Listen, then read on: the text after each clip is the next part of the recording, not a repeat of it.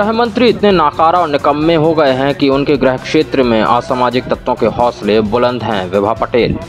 वर्तमान के राजनीतिक गलियारे में चाल, चरित्र, चेहरा, नेताओं, कार्यकर्ताओं के लिए सावधानी से चलने के लिए दुर्गम पथ है। प्रदेश के मुखिया वर्ष 2023 का चुनाव जीतने के लिए महिला शक्ति को आगे करके लुहावनी योजनाएँ ला रहे हैं। वहीं गृह मंत्री के ज़िले में मदमस्त व मदमस्त भाजपा पदाधिकारी और उनके परिजन लाडली बहनों का उत्पीड़न कर सामूहिक बलात्कार के घिनौने कृत कर पार्टी की छवि कलंकित कर रहे हैं। कानून व्यवस्था ध्वस्त है। प्रदेश में कहीं अपराध होने पर उनके मकानों, जमीनों एवं संपत्तियों को ध्वस्त करने की कार्यवाही की जाती है। वहीं भाजपा नेता के बलात्कारी बेटे के मकान व संपत्ति को बचाया जा रहा है। यह आरोप महिला कांग्रेस नेता व भोपाल की पूर्व महापौर श्रीमती विभा पटेल ने किला चौक पर सभा को संबोधित करते हुए कहा कि उनके गृह मंत्री के गृह क्षेत्र में दो बच्चों के साथ बलात्कार जैसी घनौनी घटना हुई है और कानून व्यवस्था बिल्कुल चरमरा गई है। और गृह मंत्री इतने नाकारा और निकम्मे हो गए हैं कि उनके गृह क्षेत्र में असामाजिक तत्वों के हौसले बुलंद कानून और प्रशासन का भय असामाजिक तत्वों को नहीं है, क्योंकि उनके संबंध भारतीय जनता पार्टी के नेताओं से हैं। दो बच्चियों के साथ बलात्कार की घटना हुई है। वो ये दर्शाता है कि आज गृह मंत्री इतने नाकारा और निकम्मे हो गए हैं कि उनके गृह क्षेत्र में असामाजिक तत्वों के हौसले बुलंद हैं। कुछ दिन पहले पंद्रह तारीख को दो बच्चियों के साथ बलात्कार की घटना हुई। उसके बाद आज भी एक बच्ची के साथ इसी तरह की घटना सामने आई है। कानून और प्रशासन का भय असामाजिक तत्वों को नहीं है। क्योंकि उनके जो, उनके संबंध भारतीय जनता पार्टी के नेताओं से है। वे लोग स्वयं भारतीय जनता पार्टी के पदाधिकारी हैं और इसीलिए उनके खिलाफ कार्रवाई करने में आज शासन प्रशासन के हाथ डगमगा रहे हैं। आज मुख्यमंत्री को संज्ञान लेना चाहिए इस घटना का और मुख्यमंत्री जो स्वयं को बहनों के भाई और भांजियों के मामा कहते हैं पर ध्यान देना चाहिए कि क्यों मध्य प्रदेश महिला अत्याचार में नंबर एक पर पहुँच चुका है।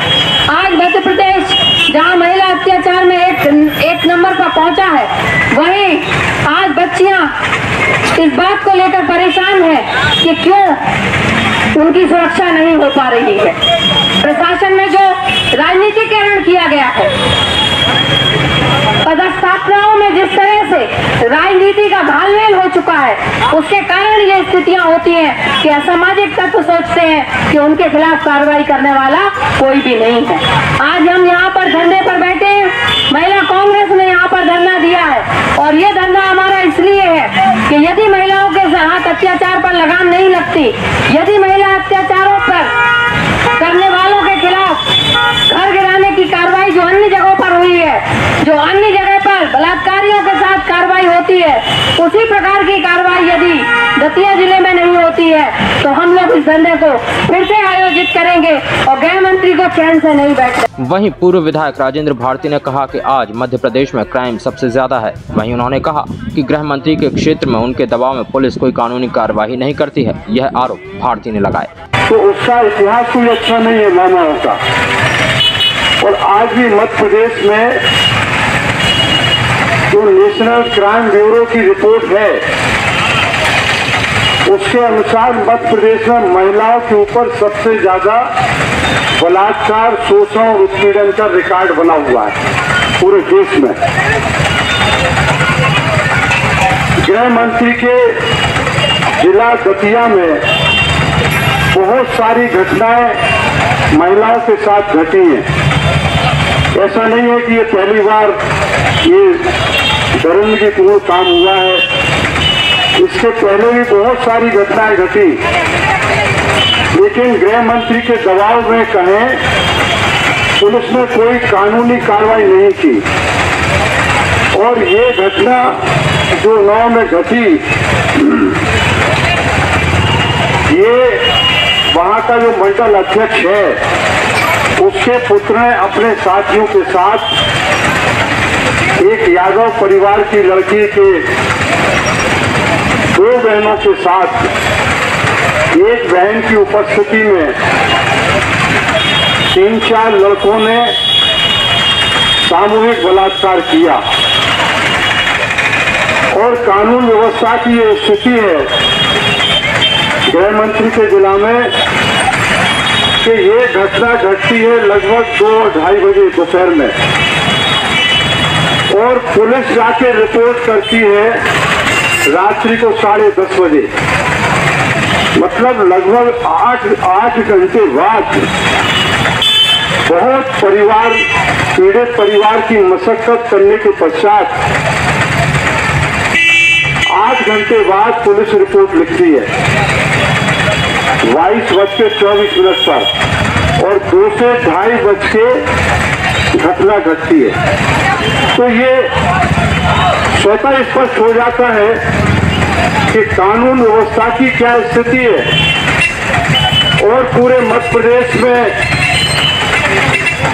जिस तरह से योगी आदित्यनाथ का उत्तर प्रदेश में बलात्कारियों और दूसरे अपराधियों के खिलाफ मकानों की तोड़ फोड़ की है जमी दोष किए हैं उन्हीं की देखा देखी मध्य प्रदेश में शिवराज सिंह जी ने भी ऐसा किया। गृह मंत्री ने भी इन ऐसी घटनाओं पर अनेक जिलों में अपराधियों के, बलात्कारियों के, मकानों की तोड़फोड़ की, उनको जमी दोष किया उनकी संपत्ति को। लेकिन उन्नाव में जब इस तरह की घटना घटती है तो भाजपा मंडल अध्यक्ष के या और उसके पुत्र के साथियों के जो अपराधी हैं, उनके खिलाफ जिला प्रशासन या पुलिस प्रशासन इस तरह की कार्रवाई नहीं करता। पक्षपात करता है क्यों? क्योंकि वहाँ भाजपा सीधी उसमें, उस केस में इन्वॉल्व है। और सर्वनाश बात तो ये है कि भारतीय जनता पार्टी जो नैतिकता की बात करती है, नैतिकता की दुहाई देती है, आज तारीख तक लगभग पंद्रह तारीख की ये घटना है। उसके बाद भी, इतने दिनों के बाद भी भारतीय जनता पार्टी ने अपने मंडल अध्यक्ष को पार्टी से बर्खास्त नहीं किया। ये गृह मंत्री का जिला है। उनकी पार्टी की नैतिकता आप देखिए। गृह मंत्री जी की कानून व्यवस्था आप देखिए। वहीं महिला कांग्रेस ने मुख्यमंत्री शिवराज सिंह एवं गृह मंत्री नरोत्तम मिश्रा का पुतला फूका। इस दौरान रचना शेर सिंह, रश्मि पवार, गुड्डी जाटव, रेखा अहिरवार, नंदिनी कुशवाहा, पूनम रावत, अर्चना अहिरवार, शांति अहिरवार, प्रीति दोहरे राम किंकर गुर्जर सत्येंद्र खरे, सुरेश झा, पंजाब सिंह आदि कांग्रेस कार्यकर्ता मौजूद रहे। दतिया से प्रशांत श्रीवास्तव की report Bundelkhand today news Jhansi.